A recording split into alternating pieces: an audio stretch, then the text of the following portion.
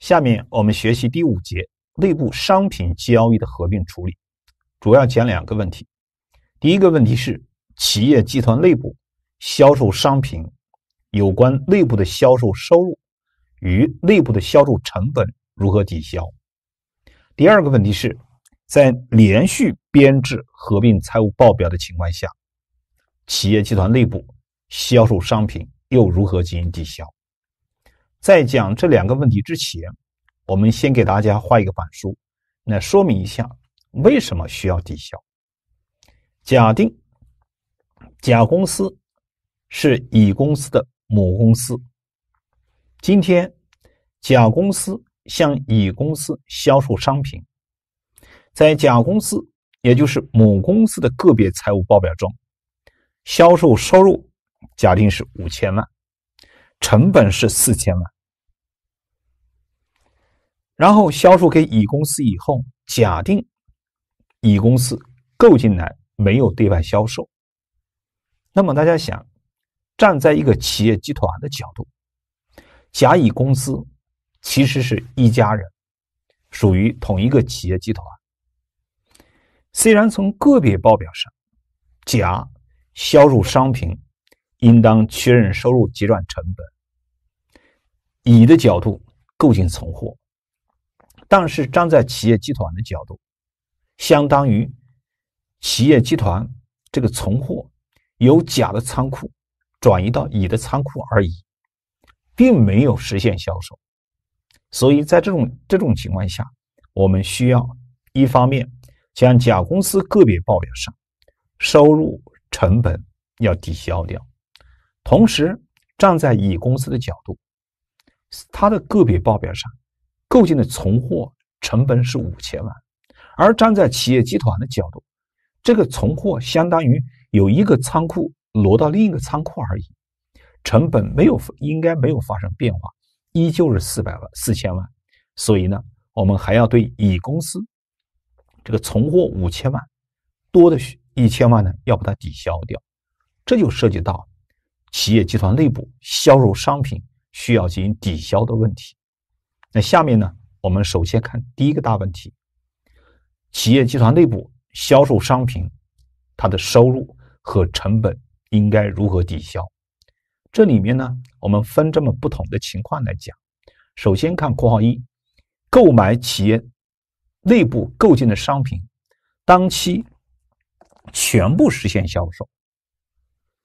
如何进行抵消？这什么意思呢？就像我们刚才举的这个例子，不同的是，甲公司也就是母公司将商品销售给子公司，然后子公司购进来以后，向企业集团外部全部销售。那如果是那样的话，大家想一想，站在一个企业集团的角度，那其实是实现销售了。此时如何抵消？编制的抵消分录是借营业收入。按照什么金额抵呢？本期企业集团内部销售商品的金额来进行抵消，同时带营业成本。问题是这笔分录抵消分录我怎么去理解？下面给大家结合一道例题来分析一下。甲公司二零二二年度个别利润表中，营业收入这一项有一千万，系本年度向其子公司。A 公司销售商品取得的销售收入，该批商品的成本是八百万，销售毛利率是百分之二十。A 公司购进以后，在当年二零二二年，将该商品全部实现销售给企业集团外的企业。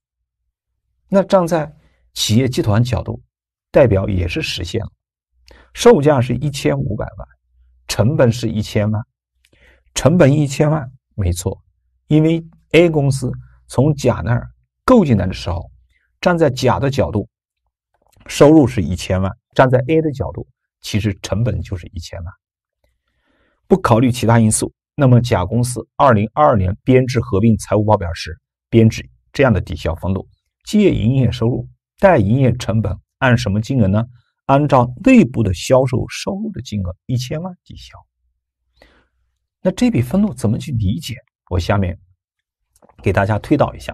第一次学习我们推导一下，推导以后啊，我们理解了以后，我们做题目那就直接写抵消分录了，因为我们一个推理的过程，就像我们咱们学数学学几何一样的一个定理。这个定理呢，我们先证明一下，证明以后呢，哦，我们认为这是可以的，我们接受了，然后将来我们做题目时就利用这个定理，不用再去证明它了。等我们学理解这些问题以后，我们编制抵消分录。那就是借营业收入贷营业成本就可以了。问题是，我今天第一次学，我怎么理解这个问题？那下面我们一起来看一下。先站在个别报表角度，我们逐个来分析。先看站在母公司的角度，也就是甲，甲把这个商品销售给子公司，借银行存款，我假定收到钱了，借银行存款贷营业收入。然后结转成本，借营业成本贷存货。我顺便说一下，我们平时个别报表上销售商品是带主营业务收入的，然后结转成本的时候是借主营业务成本贷库存商品。但今天我们都是在讲合并财务报表，那么在合并财务报表角度，请大家注意，我们前面给大家说过，那都是有表生成表的，也就是说我们在合并报表工作底稿上。以报表的项目名称作为合并报表抵消科抵消分录的科目，所以今天呢，我们写这些分录的时候，这些科目啊，我们就直接写成报表的项目。这一点请大家注意一下。营业收入实际上就是主营业务收入，营业成本实际上就是对应的科目是主营业务成本，存货对应的就是库存商品。因为在报表里面，库存商品对应的是谁？是存货啊。这是给大家先解释一下。好了。某公司个别报表上做这两笔分录没问题吧？一方面确认收入，另外一方面结账成本。那我再问大家，那子公司 A 买进来以后，他怎么做？根据题目的条件，他买进来成本是一千万，然后呢，他把它又对外销售了，是不是啊？全部实现销售了，是一千五百万。我们来看一下子公司个别报表上，第一笔分录购进来，借存货贷银行存款一千万，然后第二笔分录。他把它对外销售了，借银行存款一千五，贷营业收入，确认收入呀一千五百万。第三笔分录，他也要结转成本，是不是啊？借主营业成本贷存货，成本是一千万，他买进来是一千万。好，这是个别报表上母子公司分别是这样处理的。今天我们站在企业集团的角度，站在企业集团的角度，大家想一想，这个销售实现了吗？我们结合这前面这个图表来说明一下。站在企业集团的角度，如果乙公司，我们这儿这个图表是乙公司，我们刚刚那个就是子公司吧？刚刚是那个题目是 A，它向外销售了，那站在企业集团角度，代表也是实现了，是不是啊？那我想问大家一个问题：你说这道题站在企业集团的角度是也是实现销售了，那站在企业集团的角度，销售收入是多少？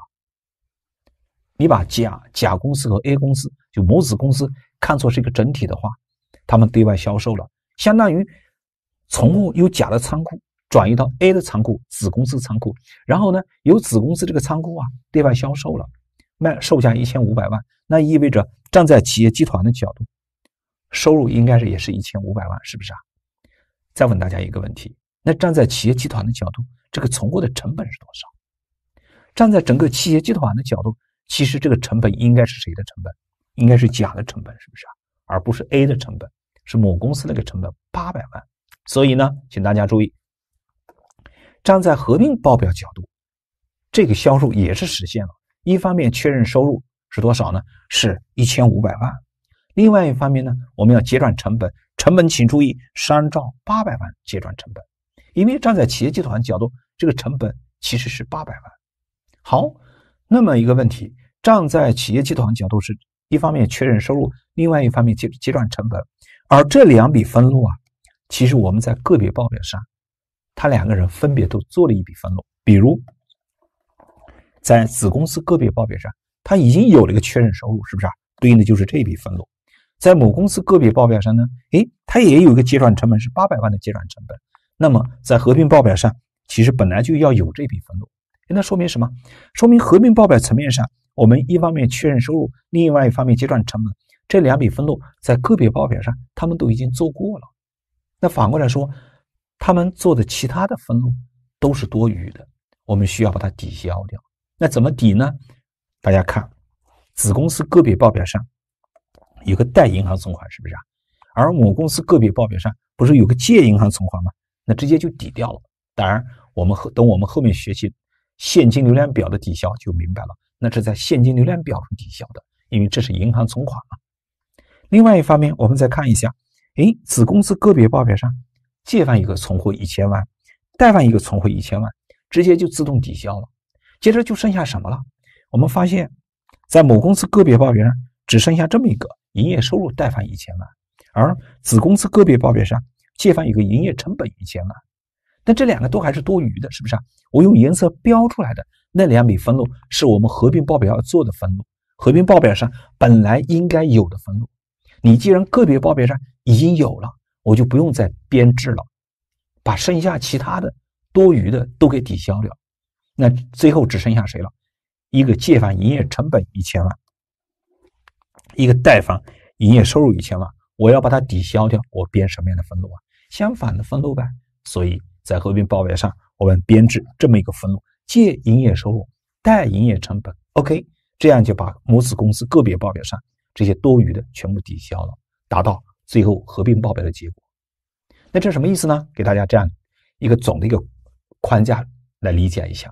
毕竟咱们很多同学没有编过合并报表，我一直给大家讲这么一个观念：怎么编合并报表啊？在我面前有一张合并报表工作底稿，我把某公司个别报表抄上去，把子公司个别报表抄上去，然后再合计起来在一起，然后编制这么一个抵消分录。编这么一个抵消分录，是不是就要是不是就是把母子公司个别报表上什么营业收入啊一千万、营业成本一千万给抵消了？然后母子公司其他的刚才我给大家说明了，都自动抵消了。所以呢，只剩下这两个，正是我们所要的。达到这样的结果，合并报表就出来了。哎，我们要编制抵消分录的答案就是中间这个抵消分录。在工作底稿上，我们编一个抵消分录，然后结果就出来了，就是合并报表的结果。所以这就是我们的答案。哎，那这个一说，回到前面看一下，那这个答案就是这样来的。好了，我们推理了以后啊，以后我们做题目，凡是母子公司或者说子公司与子公司之间销售商品。然后呢，买方买了以后啊，向企业集团外部全部销售了。我编制抵消分录时，借营业收入，贷营业成本，就是固定的模板了。金额多少呢？金额就是你企业集团内部的销售价格，千万不要按照外部价格啊，外部价格是和外部单位的，不是按一千五，是按照你们俩内部的交易这个收入把它抵消掉，这个金额抵消就可以了。那其实理解了以后啊，以后我们做题目就。很熟练了，所以合并报表其实除了我们后面的第九节涉及到长期股权投资啊，涉及到等等复杂一些，其实这些抵消分录你做的多了，发现 n 个题目都是一样的。做到后来你做的熟练以后啊，我们希望去考这些，而不是怕这一些。没考这些，我感到挺失望的，因为考到这一些，那都是我们拿分的非常好的地方啊。所以一开始呢，我们先理解。理解了以后，以后做题目发现都是这个规律。好，那这个讲完以后啊，顺便给大家再补充一个问题。大家想一想，我们在正常的情况下销售商品、购进商品有增值税、应交税费、应交增值税什么销项税额了、进项税额了，是不是啊？那我这儿刚才都没有，是不是说因为简化的原因呢？一方面是简化，我不写出来了。更重要的一点，我告诉大家，无论你。销售方的销项税额，还是你购进采购方的进项税额，这些我们都不需要抵消。为什么不需要抵消呢？你要想一想，应交税费、应交增值税，这跟谁打交道呀？跟税务机关呢？那税务机关是企业集团外部单位呀。税务机关要是我企业集团内内部的，那就好办了，是不是？那多好呀！可惜它不是的，它不是我们企业集团的，那是国家的。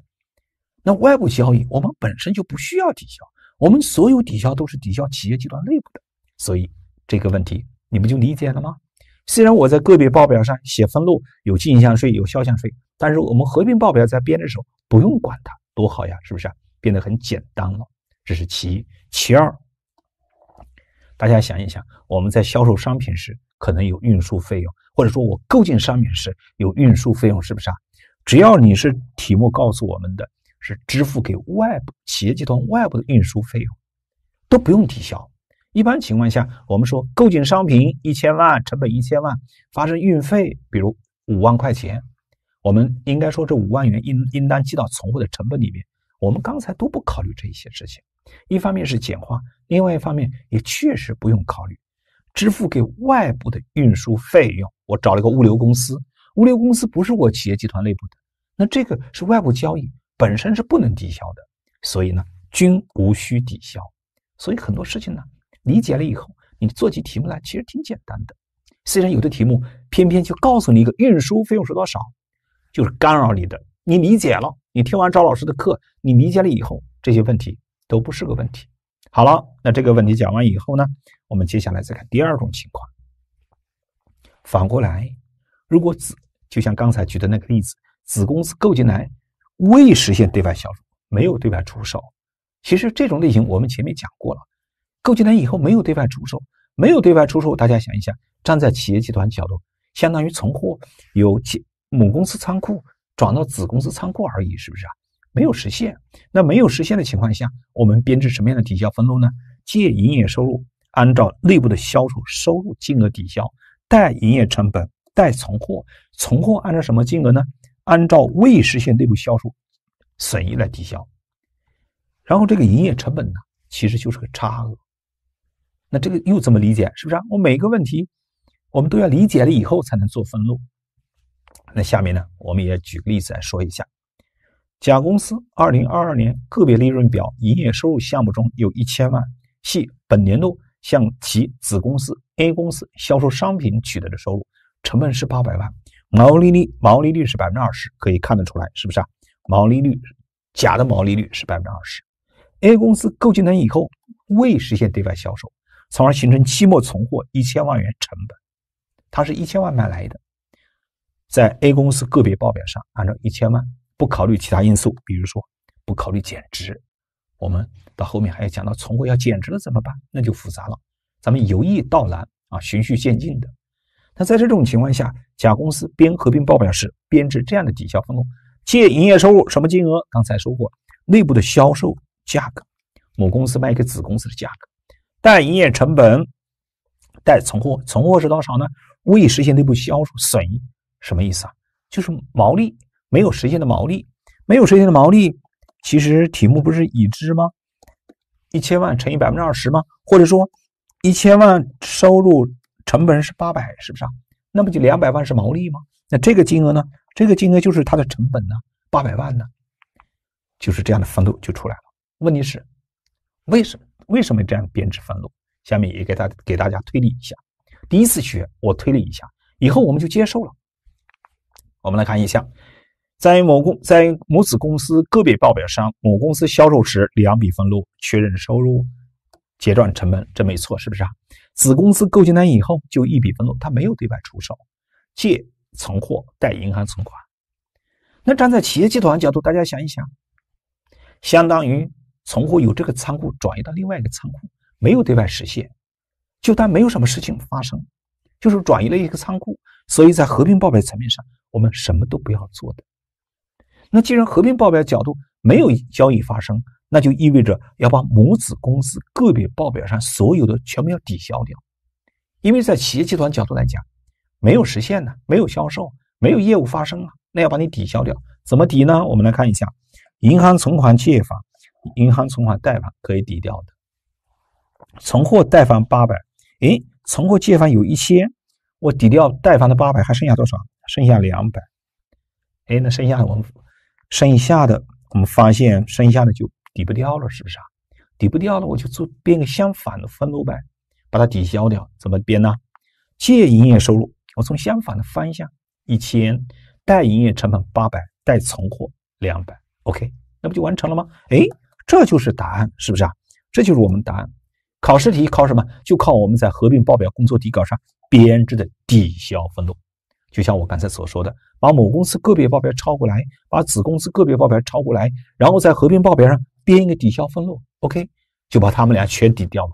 因为有一些是自动抵消的，我把抵不掉的编一个抵消分录，这样就完成了。所以呢，当我们做题目时，如果母公司向子公司销售商品，当然反过来也是这样的，我就以母公司向子公司销售商品为例。如果子公司购进来没有对外实现销售，我就编制这样的分录：借营业收入什么金额？母公司卖给子公司的价格。贷营业成本是什么？其实说白了就是某公司的营业成本，然后贷存货两百。其实这笔分录啊，我们刚才是推理，你这么想其实也很好理解。在企业集团角度，相当于没有实现销售，没有业务发生，那说明什么？说明母公司个别报表上他确认的收入，他确认的成本都是多的、多余的，要冲掉。你刚才确认收入是在借贷营业收入是吧？那在合并报表上我借营业收入呗。你个别报表上借主营业务成本，我今天在合并报表上贷营业成本，不就抵掉了吗？这样就把母公司的营业收入、营业成本，甚至可以这么理解。母公司个别报表上的利润给抵消了，是不是啊？这个利润没有实现呢。同时，在子公司个别报表上，按照一千万买进来的，但是站在企业集团的角度，相当于存货由这个仓库转移到另外一个仓库，成本是不会发生变化的。也就是说，站在企业集团的角度，这个成存货的成本应该还是多少？还是八百万。但是子公司个别报表上是按一千万买进来的，意味着子公司个别报表上存货不就虚增了两百吗？因此，我们代存货其实是把子公司个别报表上存货虚增的两百从贷款抵消了。OK，这不就完成了吗？是不是？好了，以后我们做题目那就熟练了。如果某某公司向子公司销售商品，子公司没有对外出售，我们编制抵消分录太简单了，借营业收入、贷营业成本、贷存货，那就完成了。好，这就是第二种情况。当然了，也有同学听听完以后啊。他想，这个挺挺麻烦的。我们喜欢怎么做啊？我们编合并报表可不可以这样？你别搞什么母公司抵消了什么之类的。我把像这种情况，我把母公司个别报表上作为相反的分录，然后把子公司个别报表上作为相反的分录。特别是咱们有的同学还有财务的实务经验呢。我在单位里面有什么站错了以后，我用红字冲销。师傅教我的，他说今天这合并报表听下来呀。既然是多余的，我就把你编这个相反的分录呗，把你母公司个别报表上所有业务抵分录抵消掉，把你子公司所有分录抵消掉，不就可以了吗？不带这样的，那多复杂呀！那我们现在是举个简单的例子，我而且我一笔奋斗就完成了。你那样做的话，每一个都抵消，那是不愿意动脑筋的一种想法，一种很懒的一种想法，很笨的一种想法。反正反方一下把它冲掉就完了啊！不带这样的。请大家注意，还是要学习按照我们今天所讲的这个方法。接下来呢，我们再看第三种情况是什么呢？购买企业内部购进商品啊，它有一部分对外实现销售了，然后另外一部分没有出售，形成期末存货。说白了就是购进来以后啊，有一部分销售，有一部分还留在这儿。那这个时候怎么去抵消？借营业收入。按照内部的销售收入，贷营业成本不知道，贷存货先把存货解决，存货是内部销售商品的收入，乘以没有实现的百分比，再乘以毛利率，这是原理。根据题目的条件，可能随时会变的，这样就抵消了。有同学说：“哎，这个我又接受不了了，是不是啊？”可以理解，一开始嘛。其实大家想一想。第三（括号三）这种情况，不就是我们前面（括号一）加（括号二）叠加在一起的吗？（括号一）我们前面讲的第一种情形，购进来以后全部对外销售，我把它分两部分可以吧？是不是？我分两部分啊，那一部分是全部销售，这一部分是全部没有实现销售，合起来不就是（括号三）吗？是不是？所以呢，这一块呢，我们在编制分录时。编制这样的分录，我们就不太好接受，或者说有的时候编这么两笔分录，我们都不太好好理解它。我下面呢，同样的，先举例子推导一下。甲公司二零二二年度个别利润表营业收入项目中有一个亿，系本年度向其子公司 A 公司销售商品取得的收入，成本是八千万，毛利率是百分之二十。A 公司二零二二年将该商品的百分之六十。销售给企业集团外部企业，然后剩下的百分之四十形成期末存货，那成本就是四千万。为什么呢？因为 A 购进来是一个亿啊，一个亿的成本，百分之六十销售，剩下百分之四十成本不就是四千万吗？不考虑其他因素，那么甲公司合并报表上怎么抵消？我先说怎么抵消，给大家推导。就像我刚才说的，我把它理解为相当于两部分，百分之六十是一部分，百分之四十是一部分。百分之六十购进来全部实现销售，百分之四十购进来全部没有实现销售，不就可以了吗？这是原理呗。那么百分之六十全部实现销售，我们前面不是讲过一个方法呀？借营业收入贷营业成本，你把这部分的销售金额算出来，那不是六千万吗？是不是很好理解？借营业收入贷营业成本。全部销售是不是这样的分录啊？相反，另外百分之四十全部没有实现销售，借营业收入四千万，这一部分的销售额是四千万，内部的销售额。然后贷营业成本实际上就是它的一个百分之四十那一部分的存货的成本。然后带存货，存货实际上有毛利，是不是啊？毛利一个亿乘以百分之四十，四千万，四千万，然后百分之二十的毛利，也就八百万毛利。那这个你也可以把它理解为相是相当于是什么？相当于是个差额呗，是不是啊？或者说是百分之四十这一部分，在母公司角度的成本，母公司角度的成本这一部分售价四千万，毛利率百分之二十，毛利率是百分之二十，那你的成本不就是三千二百万吗？好了，今天我们是把它作为一个整体来看待的。那整体呢，就把两笔分录合在一块就行了嘛，是不是啊？我们是不是就可以接受了？它不是新的业务，它其实说白了，百分之六十相当于前面括号一，百分之四十相当于前面的括号二，全部没有实现销售，然后我把它叠加在一起的，叠加在一起，借营业收入，母公司向子公司销售的内部销售收入金额一个亿，前面有没有？但营业成本不知道，我先不算它。我教你的方法怎么做呢？我先算存货，你还剩下多少存货？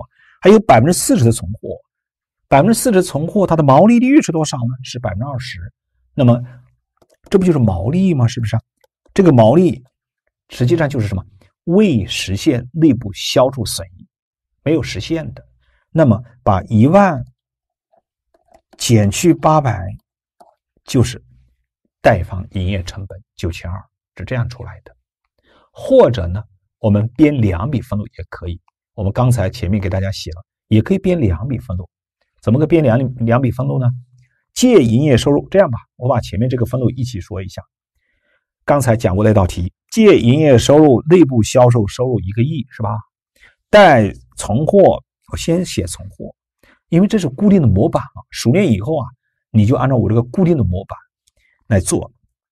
内部收入是一个亿，未实现的比例是百分之四十，没有销售实现，然后毛利率是百分之二十，这样呢，我们就算出这个存货的金额是八百，然后这个营业成本啊，对应的就是差额九千二，是不是？这是刚才讲过的，也可以分两笔分录做，都可以。我们教材上有的地方它就是分两笔写的，有的地方它就合在一起写的，没有人说。我先把这个分录说写一下吧。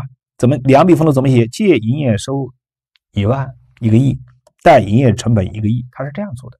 先是按照一个亿先做一遍，然后呢，按照这个毛利，毛利刚才不是算出来了吗？收入一个亿乘以百分之四十没有对外销售，再乘以毛利率，这样算出来是八百。因此，它来一个借营业成本呢，八百，其实合在一块是一样的，道理实际上是一样的。那我觉得啊，熟练以后啊，我就一笔分录少写几个字，我们考场上少打几个字，而且这一个整体，这本身这个整体它不容易，也不容易错的，是不是啊？不会因为说，哎呀，我合在一块我就容易错的，也应该不会的。那么在这种情况下，你少打几个字，其实很多地方你就节省时间了。那我说一下，那我写成两种答案，有的可能写成这样的两笔分录的答案，有的是一笔分录答案，行不行呢？都可以，没有说谁说哪一个不行。比如说，我们教材上有的地方呢写成两笔分录分开写的，有的地方呢它就是合在一起的。我也看了一下中注协的历年考试题的答案，它也有分开来写的，也有合在一起写的，没有关系，这是可以的啊。因为有的同学说，他说什么什么老师说两笔是对的，合在一块就是错的，没有这回事啊，都可以给大家说明一下。甚至我觉得熟练以后啊，咱就一笔分录，快来得快。好，这个给大家解释一下。那这样呢，我们三种情况是不是就讲完了？哪三种情况？第一种情况是母公司卖给子公司，子公司全部对外销售。告诉我抵消分录怎么写？借营业收入、贷营业成本、内部的销售收入的金额，这是第一种情况。第二种情况，某公司出售给子公司，我这样我再强调一遍啊，我都是以某公司出售给子公司为例。也有可能母子公司向母公司销售，也有可能子公司与子公司之间在销售。我只是以母公司向子公司出售为例来说明一下。第二种情况是母公司出售给子公司，子公司购进来以后全部没有对外销售，从而形成期末存货。那抵消分录怎么抵啊？借营业收入、内部销售收入、贷营业成本、贷存货，存货都是未实现内部销售损益。那第三种情况呢，其实是合在一起的，是不是啊？两种情况合在一起的。哎，那我做题目我怎么做呢？是不是啊？那其实我下面呢，把三种情况合二合三为一，那就是我教你的方法——万能的分录。什么叫万能的分录呢？三种情况，任何一种情况，我都套用这笔分录，都能解决问题。那我们下面给大家来分析一下，推理一下。比如第一种情况，母公司向子公司销售商品，收入是一千万，成本是八百万。然后第一种情况，我们前面说是子公司购进来以后全部对外销售了，借营业收入，我不管你有没有销售，内部的销售收入金额是多少？一千万，贷营业成本。贷营业成本是内部销售收入一千万乘以未实现销售的比例。我刚才讲第一种情况是全部对外销售了，全部对外销售了那没实现的是百分之多少呀？那就是零啊！全部对外销售实现了，就说明百分之百实现了。百分之百实现了那未实现就是百零，是不是啊？零毛利率，毛利率，那结果是零，是不是？那就没有存货了。所以营业成本是差额多少？一千。好了。翻到前面看一下，第一种情况，全部对外销售的情况下，抵消分录是借营业收入贷营业收成本一千，是不是这个道理啊？好，这是第一种情况。接下来第二种情况，母公司卖给子公司，子公司全部没有实现对外销售，那这个时候怎么做？借营业收入，哎，我始终都是一千万，是不是？贷营业成本不知道，我先把存货写出来，存货内部销售收入是一千乘以未实现销售百分比。全部没有实现，百分比是多少？百分比就是百分之百呀！一定要注意是未实现的。然后呢，乘以毛利率百分之二十，那不就是两百吗？是不是？两百呢？你差额多少？八百。OK。哎，那看一下前面，你们翻一下前面答案，是不是这个答案呢？好了，这是第二种情况。再看第三种情况。第三种情况，假定啊，我现在口头举例子，跟刚才例题那个数字不一样的。母公司向子公司销售商品还是一千万。某公司向子公司啊，就像某公司向子公司销售商品是一千万，成本本来是八百万，意味着毛利率是百分之二十。然后子公司呢，请注意，子公司啊对外销售了百分之三十，销售了百分之三十，还有百分之七十没有对外销售。那我们抵消分录怎么抵啊？借营业收入。我不管什么情况，你内部销售价格多少？一千，那就还是一千。贷营业成本不知道，我们都是带存，把存货算出来。这就是我前面教告诉大家，我甚至不要写两笔分录，不要像教材那样那样写两笔分录，我合在一起写更好。它是个整体，内部销售收入一千乘以未实现销售百分比。假如百分之三十对外销售了，百分之七十没有对外销售。那我就乘以百分之七十没实现的，乘以毛利率百分之二十，百分之二十。哎，这样呢，我们就把这个百分比算出来，这是多少啊？一百四，一百四。那带营业成本多少啊？差差额呀，差额那不就多少八百六呗就行了。或者说题目改一下，他说百分之四十对外销售，百分之六十没有对外销售，那随便题目怎么改了呗，是不是啊？我是万能分录，随便你什么情况，你都可以带进来，是不是啊？所以呢，我们前面三种情况都可以，最后推推理完以后啊，我们发现三种情况不要搞三种情况，统一这样一笔万能分录，以后我们做题目。我们所有的这个存货抵消，当期购进商品的抵消啊，我不管你是全部出售了，全部没有出售，还是出售一部分，呃，保留了一部分，我都通通用这笔分录来抵消。OK，这这样不就把复杂问题简单化了吗？好，那这个讲完以后呢，下面呢，我们结合教材二十一题来看一下，甲公司本期啊，我把它假定是二零二二年。个别利润表中的营业收入有五千万，系向 A 公司销售商品的收入。顺便说一下啊，因为题目我把条件整的简单，甲公司就是某公司，A A 公司就是那个子公司，销售商品的收入五千万，该成销售成本是三千五百万，毛利率百分之三十，从这里面也可以看得出来，啊，毛利率是百分之三十。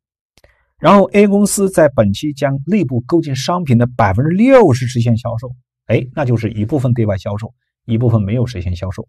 销售收入是三千七百五十万。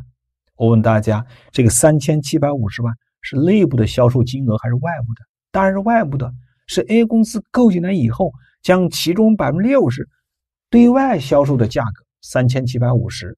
那这个是外部交易，你不用考虑这个条件。所以我们在做题目时啊，要把这些题有的条件呢，要把它筛除掉。这是我告诉大家这样一个方法。你想一想，理解一下是不是这个道理？不要受它干扰。有的考试题呢，有的他会把这个题目条件告诉我们，唯一的目的就是误导我们，干扰我们。我们的内部销售收入是这个数字，五千万，是不是啊？好了，成本是三千万，对的，因为你买进来的时候，A 买进来是按照五千万的成本买进来的，你百分之六十对外销售。成本是不是三千万？毛利率百分之二十也能看得出来，毛利率是百分之二十。该批商品的另外百分之四十形成期末存货，另外百分之四十的金额是两千万。对的，两千万怎么来的？五千万乘以百分之四十，没有对外销售，那成本不就是二千万吗？是不是啊？好了，这是个别报表上这样的情一个条件。那今天我们做题目时。那就可以用前面刚才万能分录了，是不是？万能分录怎么写？不用看后面答案，我们一起来做一遍。借营业收入不都是固定的模板了吗？内部的销售收入金额多少？报五千。然后贷营业成本不知道，我因为我先要把存货算出来，贷存货金额多少？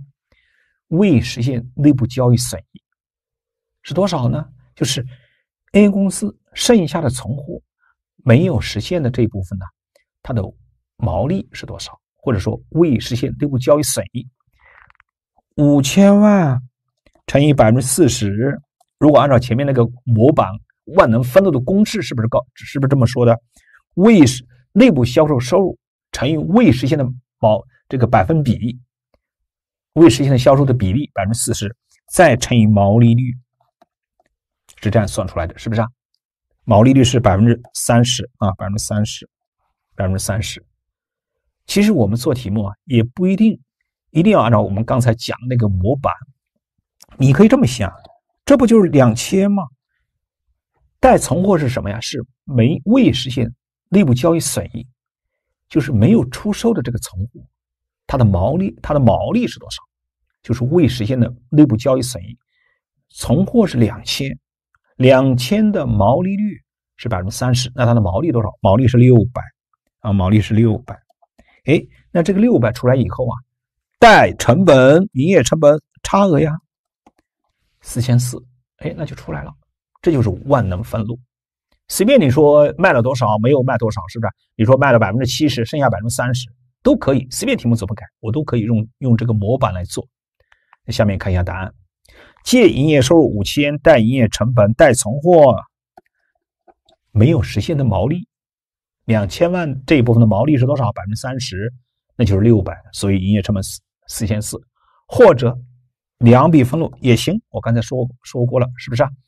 都可以，那就是借营业收入带营业成本，先不管它，先按照五千万先做一遍，然后呢，再把这个毛利算出来，六百专门借营业成本带存货，一回事儿，是不是啊？那其实我一个整体去完成更好。好，这是书上这道例题。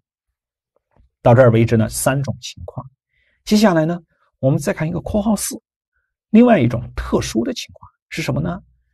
企业购进来以后啊，把将这个商品作为固定资产使用。哎，这也有可能的。某公司是生产复印机的企业，复印机是它的产品。子公司从某公司购进这个复印机以后啊，作为这个办公设备是固定资产。那在这种情况下，站在企业集团的角度，相当于从企业集团一个部门领用这个商品作为固定资产使用。此时合并报表上应该怎么抵消？怎么抵呢？借营业收入，贷营业成本，贷固定资产原价。按照未实现内部销售损益，因为这个时候啊，大家想一想，站在某公司角度，站在企个某公司角度，个别报表上确认收入结转成本了，然后站在子公司角度，他把它购进来作为固定资产，而站在企业集团角度呢，站在企业集团角度，相当于从一个部门领用一个库存商品作为固定资产使用。那在这种情况下，站在企业集团角度是固定资产，所以涉及到固定资产这个原值虚增了，需要抵消。怎么理解？我给大家举个例子，几个例题来理解它。B 公司为甲公司的子公司，甲公司于二零二一年十二月份将自己生产的产品销售给 B 公司作为固定资产，售价是五千万，成本是四千万。B 公司以五千万的价格作为固定资产入账，对的，它是五千万买来的，作为固定资产入账，用于行政管理，不需要安装，当月投入使用。B 公司二零二一年十二月份资产负债表中，这个固定资产的原值呢，账面价值是五千万，对，因为它当月购进来还没有提提计提折旧，是不是还是五千万？不考虑其他因素，比如说还不考虑减值。这是在个别报表上是这样的。那今天我们在合并报表层面上，就这个内部交易怎么抵消，我先画一个板书，也是给大家推理。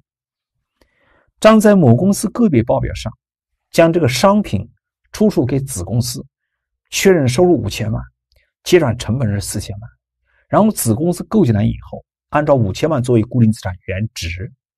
但是今天站在企业集团的角度。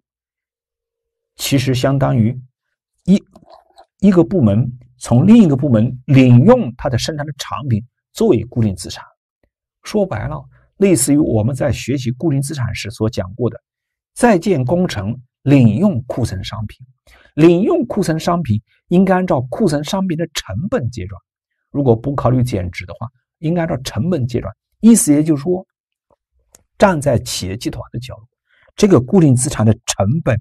应该是四千万，而不应该是五千万。那说明什么？说明在某公司在子公司个别报表上，固定资产虚增了一千万，要抵消掉。同时呢，站在企业集团角度，就像我们在固定资产那一章学习过的，在建工程领用库存商品，你这个库存商品能视同销售吗？不可以的，就是直接结转过来的。所以在个别报表上，你是不能确认收入结转成本的。这些都需要抵消掉。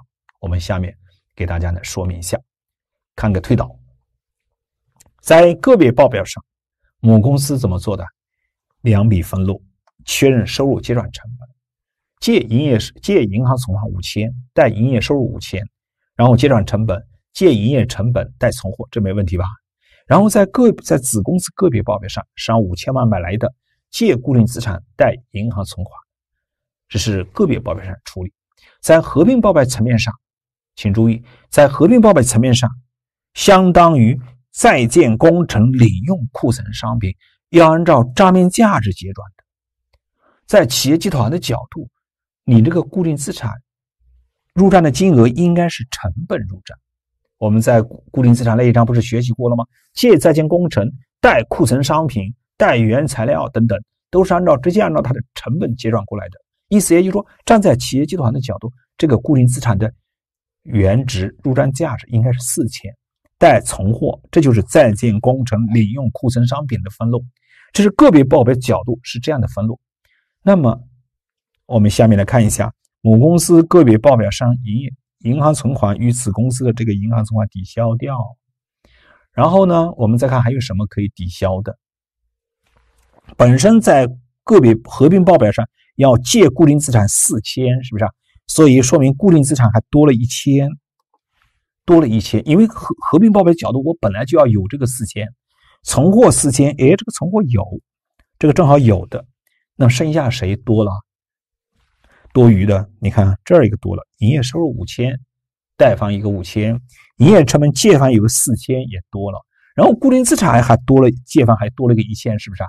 因此我们在合并报表上把你这些多余的编个相反方向的分录，把抵消掉，借营业收入，贷营业成本，贷固定资产，OK，这样一抵消就得合并报表的结果就出来了，合并报表结果就相当于是领用库存商品。转为固定资产，直接按照四千万入账就行了。好，那就有了我们现在这笔分录。其实这笔分录不就是我们前面所讲的库存商品是类似的嘛？我们前面讲的母公司卖给子公司，子公司购进来以后没有对外销售。假如这道题是购进来以后作为存货，不是固定资产，那我这儿分录是借营业收入五千，贷营业成本四千，贷存货一千，是不是这样的？现在无非是领领用进来以后作为固定资产，那么固定资产虚增了，在子公司个别报表上，固定资产上五千入账的，在合并报表层面上应该是按照四千入账，意味着个别报表上存货固定资产虚增的，把它抵消掉一千，然后在母公司角度是不能确认收入、不能结转成本的，把这两个也抵消掉，不就有了这笔分录吗？所以我们前面讲存货的时候。三种情况合在一起，一个万能分录，今天在固定资产里面照样是适用的，合在一块儿都挺好的，是不是啊？做存货我也是这样合在一块做，做固定资产我也是合在一块做，都是一样的，啊，不需要搞很多方向，这个很多类型的。好，有关固定领用库存商品作为固定资产，就这样的抵消，原理实际上是一样的。无非把存货改成固定资产原价就是了，你这个金额的性质都是一样的，都是为实现内部销售损益。那这个讲完以后呢，我前面还有一个小问题说明一下：应交增值税同样不用抵消，这个前面解释过，那是外部交易。甚至还有什么呢？我们有的题目为了混淆我们，他说子公司构建这个固定资产以后啊，甚至还需要安装啊。还需要运输啊，发生一些费用。只要题目告诉我是外部的安装费、运输费，题目即使有，我们不需要抵消这一些。好，这就是第四种情况，哎，比较特殊的，跟固定资产相关的了。好，那么这个问题我们就学习到这儿。那么这一节课呢，我们主要就是学习企业集团内部当期购进上面，注意啊，是当期，不是连续的。就本期购进商品的三种情况：一、全部实现对外销售；二、全部未实现对外销售；三、部分对外销售，部分没有对外销售。给大家推理以后啊，最后来个总结：一笔分录，万能分录，把三种情况都解决了。